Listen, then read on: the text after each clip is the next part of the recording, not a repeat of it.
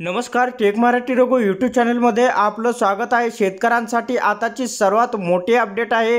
P M किसान योजनेचा तेरावा हप्ता या दिवशी जमा होण्याची शक्यता आहे. या संदर्भामध्ये काय अपडेट आहे ते आपण सविस्तर पाहूया.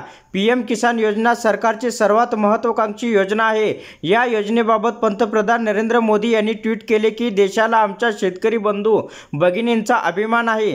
ते जितके बलवान असतील तितका समृद्ध न्यू इंडिया असेल. मला आनंद आहे की पी एम किसान सन्मान निधी आणि शेतीशी संबंधित इतर योजना शेतकऱ्यांपर्यंत पोहोचत आहे. प्रधानमंत्री किसान योजनेच्या दहा कोटीहून अधिक लाभार्थी शेतकऱ्यांसाठी एक चांगली आणि महत्त्वाची बातमी आहे. पी एम किसान योजनेच्या तेराव्या हप्त्याची शेतकऱ्यांची प्रतीक्षा लवकरच संपणार आहे.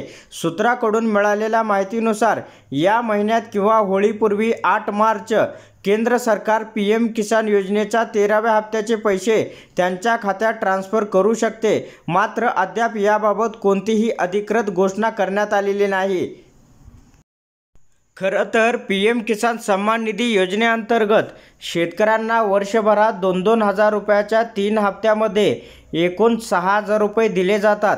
या योजनेअंतर्गत पहिला हप्ता एक एप्रिल ते एकतीस जुलै तर दुसरा हप्ता एक ऑगस्ट ते नोव्हेंबर या कालावधीत दिला जातो.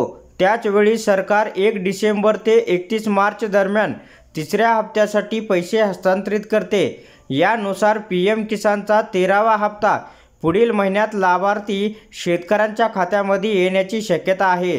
तर अशा प्रकारे शेतकऱ्यांसाठी पी एम किसान योजनेबद्दल ही एक महत्त्वाची अपडेट होती.